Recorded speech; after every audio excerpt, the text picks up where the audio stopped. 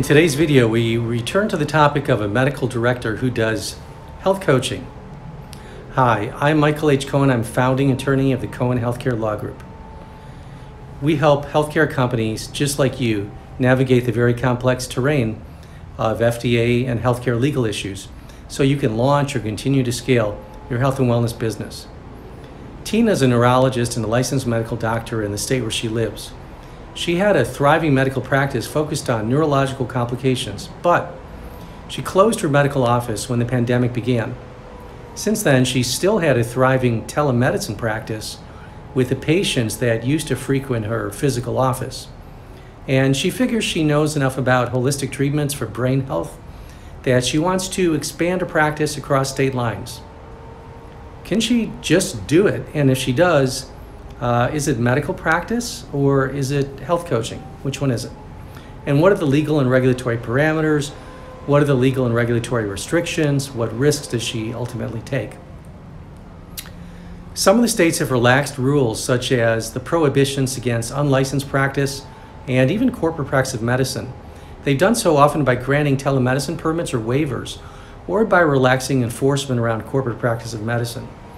Some states appear to have relaxed legal standards, but then, given the breadth of the laws that are on the books, uh, they've pounced on unsuspecting healthcare practitioners and businesses. So it's really hard to completely eradicate the past century, even the era of coronavirus, where everything is changing around us all the time.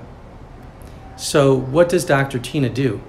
Well, Dr. Tina has two websites one for her medical practice, and via this website, she promotes her clinical practice and unabashedly offers clinical advice via telemedicine. She sticks to patients where they live in states where she has a medical license, or very clearly has a special telemedicine permit or waiver, or whatever the remote state offers.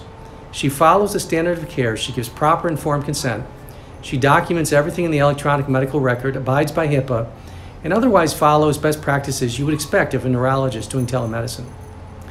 Dr. Tina's second website is a health coaching website.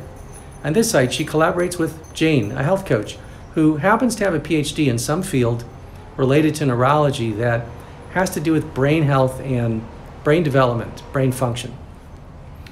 On this website, Dr. Tina notes in her bio that she is, in fact, a licensed medical doctor in various states, but she conspicuously disclaims her role and limit, limits it here to health coaching. She doesn't use medical diagnostic language. She doesn't take a medical history. She runs the health coaching business via an LLC in which she and Jane are both managing members, and their operating agreement is sophisticated.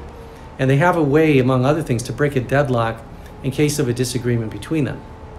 They also have buy sell provisions in case they later need a business divorce. It's a good idea to have those ahead of time.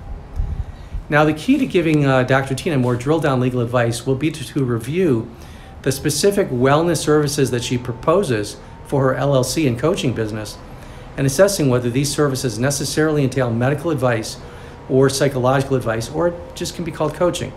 In addition, there are kickback and fee splitting issues to be reviewed, and Dr. Tina might be required to disclose her financial interest in the LLC to the medical board. If you're interested in an early read on your healthcare business model and something like this one, you'd likely benefit from a, having a legal strategy session with a member of our legal team. Thanks for watching. When you have more questions, click on the link below, cohenhealthcarelaw.com slash contact to send us a message or book an appointment. Here's to the success of your healthcare venture. We look forward to speaking with you soon.